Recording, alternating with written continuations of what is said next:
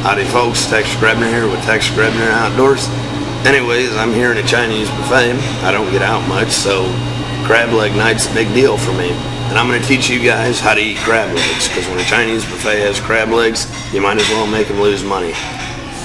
Pull this tendon off the end, break that with your fingers, make sure there's nothing in it. This piece of meat should come out on its own. Eat that off the tendon, pull that off, break it right here, break it right there. Now properly done crab legs, you should not need the cracker. So dip her in the butter. In we go. Now, I'm going to teach you how to eat a crawfish.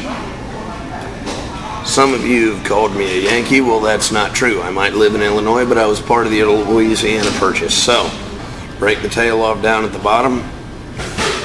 Stick your nail in here at the back where the tail joins the body. Lift up on this with your nail.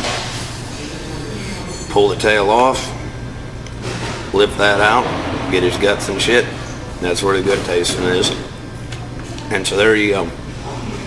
That's how to quickly and efficiently make a Chinese buffet lose money on seafood.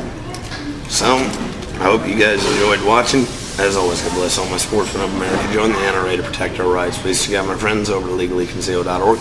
Thank you very much to those of you involved in law enforcement, those of you serving in the military. And thanks for watching Tex Grebner Outdoors.